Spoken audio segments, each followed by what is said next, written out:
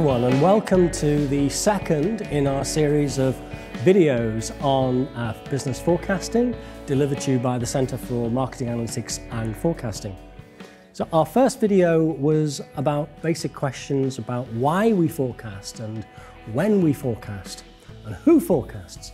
But we're now moving on to perhaps the question that most people ask, which is how to forecast. We won't be talking about that in great detail, but I will be giving, I hope, some pointers to some of the different approaches that are available. So let's start with recognizing that forecasting is a daunting and difficult task. And there's a famous quote, which you may have come across before, which is that prediction is always difficult, especially about the future. Obviously, this is a sort of semi-humorous comment, but it's also got some, um, uh, some serious intent as well, as we'll see. It comes from Niels Bohr, a famous physicist who was involved in some of the early work on the um, division of the atom. So, a couple more quotes for you before we get into this in a little bit more detail. All forecasting to some degree relies upon our experience of the past. And here's two perhaps contradictory quotes which I think summarize this very well. The first one says, You can never plan the future by the past. But the second says, I know of no way of judging the future but by the past. And so this is a very nice contradiction that we see here. Um, these two quotes, by the way, come from the very first page of one of the earliest books on business forecasting, which was by R.G. Brown, who wrote a book called Statistical Forecasting for Inventory Control. Now, if you look at the first quote, you can see it's a little bit of an exaggeration. Is it true that we can never plan the future by the past? Um, I'm not so sure. If we turn that round and say, you can't always plan the future by the past, then that would certainly be true. The second point is, of course, also very relevant, and this is what we're going to have to rely on our past experience in order to make sensible predictions about the future. So let's now think about some broad categories of forecasting approaches. So I've categorized them very simply into scientific, where that word is perhaps used rather loosely, and judgmental.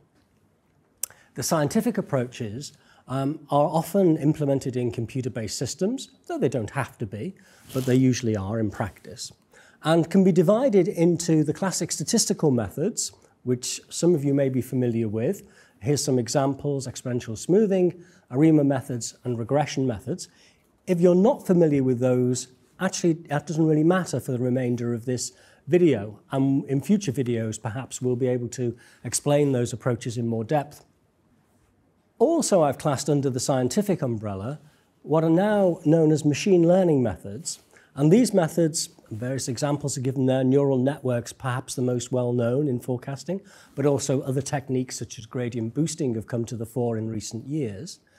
These methods don't rely so much on linear patterns, but can also deal with non-linearities. And I'll expand on that point a little bit later in this lecture. Now, that's fine, but in practice, many forecasts are actually not scientific in any meaningful sense, but they are exercised judgmentally. That might be by a single person, hopefully an expert. It could be by a jury of experts, a group of people who meet together, either physically or perhaps remotely. It could be based on focus groups or maybe projections from sales forces, where it's judgment that is coming to the fore here rather than any quantitative uh, methods or algorithms. So that's my basic distinction that I want to talk about. Statistic, um, scientific methods, I should say, and judgmental methods, and when each might be appropriate. So let's take uh, an example where scientific methods would definitely be appropriate. This is a very famous data series. It appeared in a well-known textbook by Box and Jenkins back in the 1970s.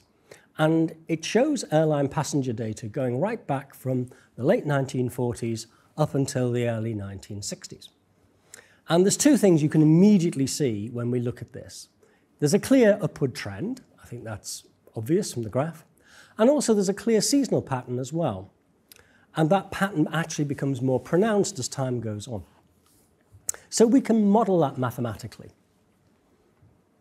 Now, in general, not just specifically to this example, there's other things which lend themselves to uh, scientific approaches. One is having a good length of data history.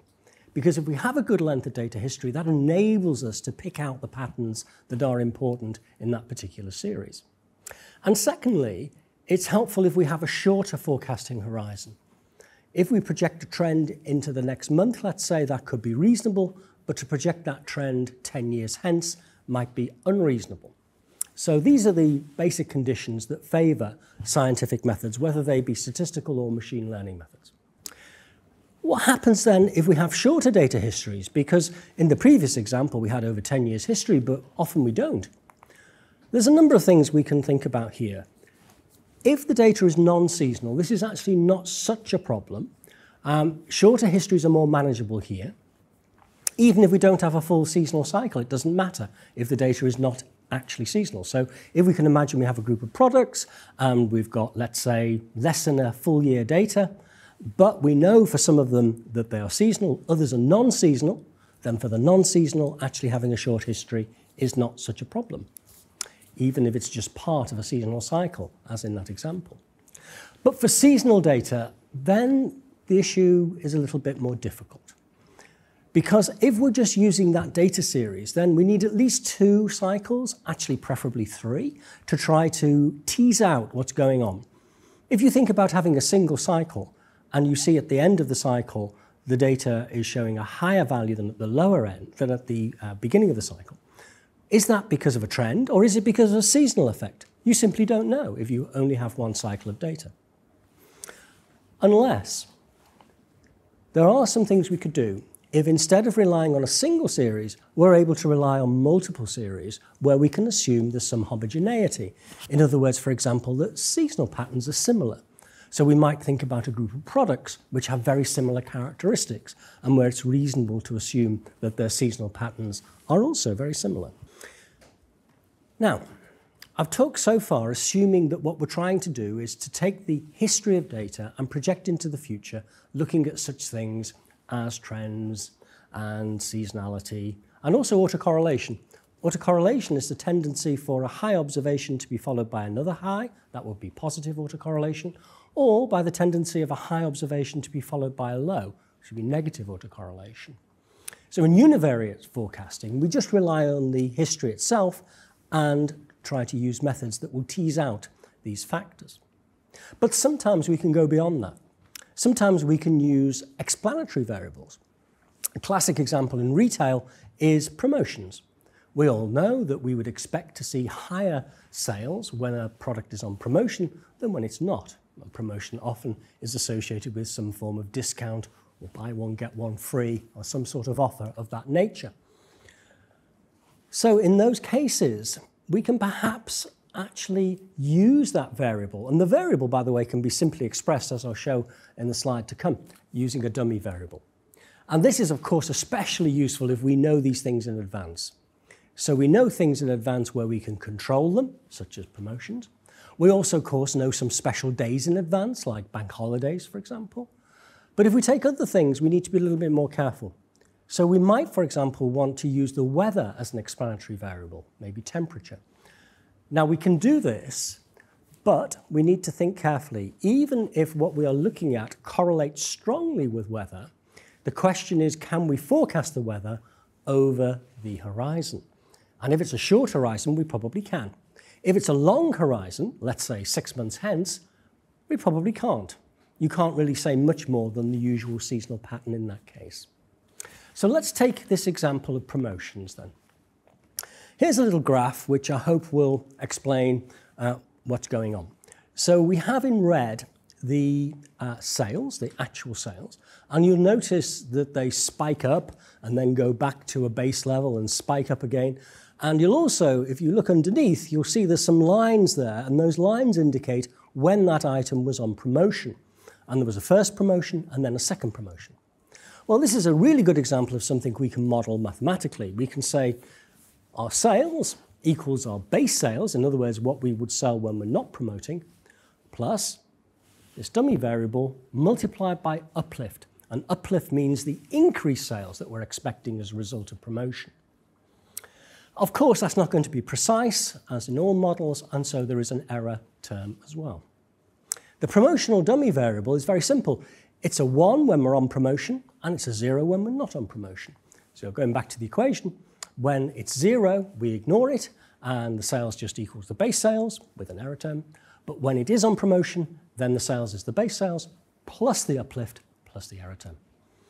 So this is really helpful if we can establish this pattern. And of course, if we've had previous promotions, particularly if we've had previous similar promotions, then we should be able to model this and actually estimate what those base sales and uplift factors are, which can be done using regression modeling.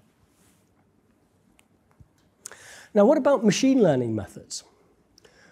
This has been a hotly debated topic within the forecasting community over recent years, and some competitions have shown similar accuracy between statistical methods and machine learning methods. A recent competition has shown some advantage for machine learning methods. So we know that they can be more accurate than statistical methods. But there's a few factors we need to take into account. The first is they're not always more accurate. We shouldn't assume they will be more accurate. What we should actually do is test them and actually compare the best statistical model against the best machine learning model, for example. Also, we need to bear in mind that some of the methods which have done well in competitions are very computationally expensive. They take a very long time to run. And therefore, you have to ask yourself, is that realistic in the situation that we face? If you need to generate forecasts every day and you need to do so within a one hour window, you need to make sure that your algorithms will run and complete within that one hour. Otherwise, it's not practical. And a further point is that machine learning methods have sometimes been criticized as being a little bit of a black box, less interpretable, in other words. So, going back to the previous example, we can actually interpret that uplift factor, which we estimated, as being the effect of the promotion. So, that's quite nice. And that can help us to decide whether it's worthwhile investing in that promotion or not. With, statistic, with machine learning methods, it's rather more difficult to interpret uh, the, the outcomes. Pulling back a little bit and forgetting for a moment about the distinction between statistical and machine learning methods, all scientific methods make a basic assumption. And that is that the future, over the horizon that we're interested in, resembles in some way the past over our data history. That doesn't mean to say that the data in the future is going to be the same as the data in the past. If we take that earlier example, we can see that won't be the case because of the strong trend. But we are assuming that that trend that we've seen recently will continue into the future and that the seasonal pattern we've seen will continue into the future. Very often this is a reasonable assumption, but not always. So here's three examples. Suppose we've got no data history. Well, what is, what is it resembling? There isn't a past for it to resemble unless, of course, we may have some analogous products or analogous services, perhaps we can use them instead. Another issue is the point about the long forecast horizon that I mentioned a little earlier. Projection of a trend over a short period is reasonable, but over a long period becomes much less so. Or, of course, we can have what's sometimes called a structural break in the series. And the best example of that in recent times has been the pandemic, when we may have had a fairly stable series prior to the pandemic, let's say, of sales. And then suddenly the pandemic hits and we see sales drop quite dramatically in some cases, and then it takes time for them to recover. So here we again need to be careful that just because we've seen a level recently in the past does not mean to say it'll continue into the future. And similarly, if a trend has been seen recently in the past, that may not prevail in the future either. So, this opens up the question of where we can use judgment. And the first example I want to give is when we're looking at long horizons. I think anybody can realize that forecasting with accuracy over a long forecast horizon, 10 years or 20 years, is an exceptionally difficult thing to do. But it can still be useful if we are considering making major investments, let's say in new plant or new locations, things like this, which are going to require that horizon to be considered.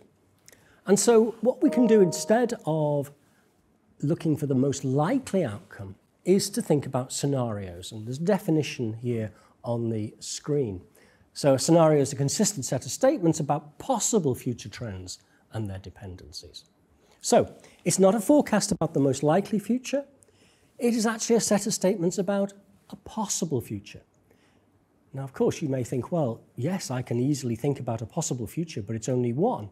So in practice, what we would want to do is think about a set of scenarios. So a whole list of different possible outcomes that could, be, uh, that could prevail in the future. If we can do that, and we would normally have that not just expressed numerically, but also with some text perhaps to describe these scenarios and to describe the dependencies. That can help us to think through our strategies and think about strategies that might be robust. In other words, that might work well with a number of different possible scenarios which may come to pass in the future. Let's move from the long horizon to shorter horizons now. We know in practice, and there's been a number of studies here, and they're listed uh, on the slide, which show that we know that judgment is used extensively in short-term forecasting. There could be good reasons for that. It could be a new product, as I've just indicated. And you see the very first line talks about pure judgment. But then there's other possibilities. We could have a pure statistical forecast, or maybe an average of the two, or possibly uh, having a statistical forecast then amended judgmentally. So all of these things are possible. The big question, of course, is is it a good thing? Is it a good thing for people to exercise judgment to change a statistical forecast? There's been a number of studies uh, on this subject, and some of those studies show that it can be beneficial for forecast accuracy. But judgment can be overused. In other words, not used when it shouldn't be used. It's being used too much. It's been used in cases where actually the scientific method would be quite satisfactory. And so in these cases, we can actually find that judgment can be harmful to forecast accuracy. And why is that? Here's some reasons. There's lots more. One obvious reason is political bias. So this is where the person making the forecast doesn't even want it to be perfectly accurate. They want it to be very high or they want it to be very low. They might want it to be very high to impress their more senior colleagues in their organization. They might want it to be very low because they think that will influence a target and that will means they can meet that target. There are various reasons. But it's not just intended biases. There's also unintended biases as well we know that there can be a tendency for people to over forecast, to forecast too high, particularly when we're looking at a favorable outcome like sales. Or if we're thinking about the time taken to complete a project, they're optimistic in a different way. They tend to um, forecast that the project will take shorter time than it actually does. And also overconfidence. So, in other words, people think that their forecasts are going to be more accurate than they actually turn out to be in practice. And another very practical point is this. If we have demand planners or other people responsible for changing forecasts, when we want them to use that time wisely and to execute their, the adjustments when they're really needed, what is not a good use of their time is fiddling with forecasts and changing them very slightly, because quite frankly, that will make no difference to forecast accuracy and is not a good use of their time. So, how can we see whether judgment is working or not?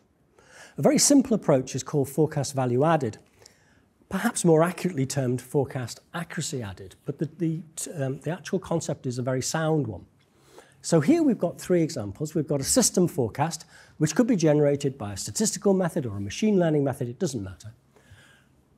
And then we've got this measure of its accuracy, or better, its inaccuracy, the mean absolute percentage error is 30%. And we'll perhaps deal with this subject in another video, but all the mean absolute percentage error is doing is taking the, each of the errors. So for example, if the actual is 100 and we forecast 90, we're out by 10, so that's 10% error. And we don't worry whether it's up or down, and we simply average those. That's what the mean absolute percentage error is. So we want it to be low. The lower the mean absolute percentage error, or the MAPE, the better. If we look at the figures, 30% is the original uh, mean absolute percentage error, but with the analyst revising the forecast, the average dropped to 20%. So that's great. That's a 10% um, bonus, so to speak. But then if we look at the third row, the executive who then finally amends and makes the final forecast has actually made matters somewhat worse.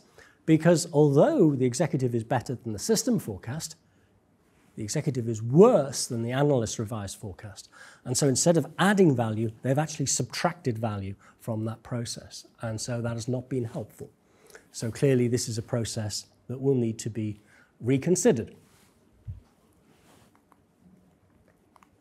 So, to summarize then, I'll repeat what I said earlier because I think it's very important that scientific methods are most useful when the future, particularly over the forecast horizon, resembles the past over the data history. Now, it's very difficult for humans to do better than scientific methods such as statistical or machine learning methods, do better than them a pattern recognition. That's what these methods are good at. However, the judgment that I've been talking about comes into its own when that condition is not met. So, in other words, we've got short histories, long horizons, or sudden changes.